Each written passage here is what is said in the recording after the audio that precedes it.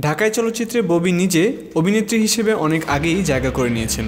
নায়িকা হিসেবে সফলতার পর এবার প্রযোজক হিসেবে নিজেকে তুলে ধরার চেষ্টা। তাই তো নিজের প্রযোজনা প্রতিষ্ঠান ববি স্টার ফিল্মসের প্রযোজনায় তার প্রযোজিত প্রথম সিনেমা বিজলি, যা নিয়ে আগামী তেরোই এপ্রিল দেশব্যাপী হাজির হচ্ছেন তিনি।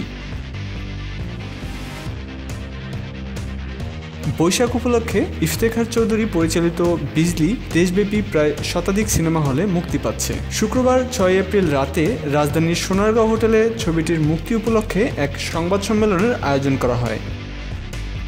সংবাদ সম্মেলনে দেশের অন্যতম চলচ্চিত্র প্রযোজনা প্রতিষ্ঠান জাজ মাল্টিমিডিয়ার কর্ণধার আব্দুল আজিজ, প্রতিষ্ঠানের সিইও আলিমুল্লাহ খোকন ও প্রতিষ্ঠানের সংশ্লিষ্ট সহ বিজলি ছবির নায়িকা ববি, মিশা সৌদাগর ইলিয়াস কাঞ্চন, নায়ক ওপার বাংলার রণবীর ও ছবির ব্যাকগ্রাউন্ড টিমের অনেকেই উপস্থিত ছিলেন।